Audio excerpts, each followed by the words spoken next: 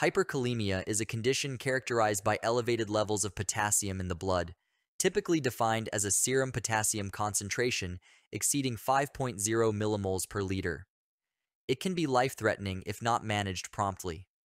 Causes of hyperkalemia include decreased potassium excretion in conditions like acute or chronic kidney failure, hypoaldosteronism, like in Addison's disease, medications such as potassium-sparing diuretics, angiotensin-converting enzyme inhibitors, angiotensin receptor blockers, nonsteroidal anti-inflammatory drugs, and heparin.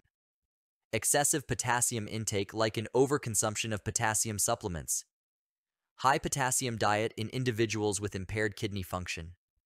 Redistribution of potassium like in cell lysis rhabdomyolysis, hemolysis, or tumor lysis syndrome. Diabetic ketoacidosis, insulin deficiency, and use of beta blockers or digoxin. Pseudohyperkalemia that occurs when laboratory artifact due to hemolysis during blood sample collection, leukocytosis, or thrombocytosis.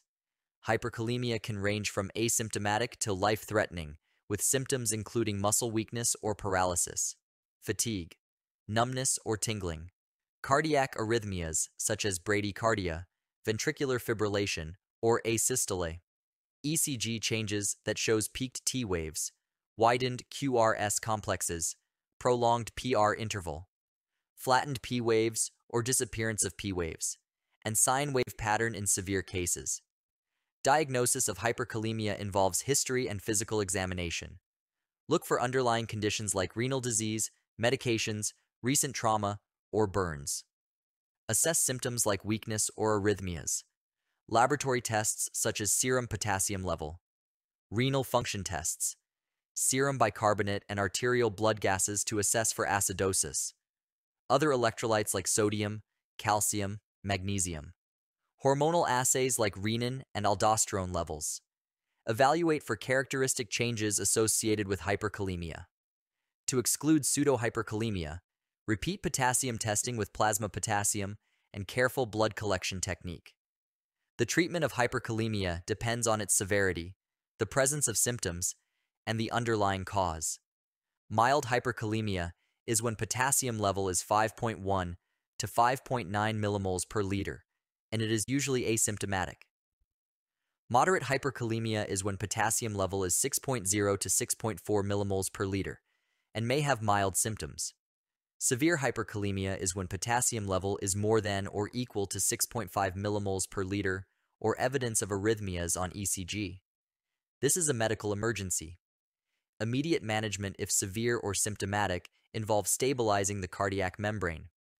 10 milliliters of 10% of calcium gluconate solution intravenously over 2 to 5 minutes. It does not lower potassium, but protects the myocardium from hyperkalemia-induced excitability. The other management of hyperkalemia involves shifting potassium intracellularly. 10 units of regular insulin intravenously plus 25 to 50 milliliters of 50% dextrose is used. Avoid dextrose in patients with hyperglycemia. Beta 2 agonists like salbutamol is nebulized 10 to 20 milligrams. Avoid salbutamol in patients with ischemic heart disease or tachycardia. 50 to 100 milliequivalent of sodium bicarbonate intravenously over 5 minutes. It is useful in patients with acidosis. It is less effective alone for lowering potassium.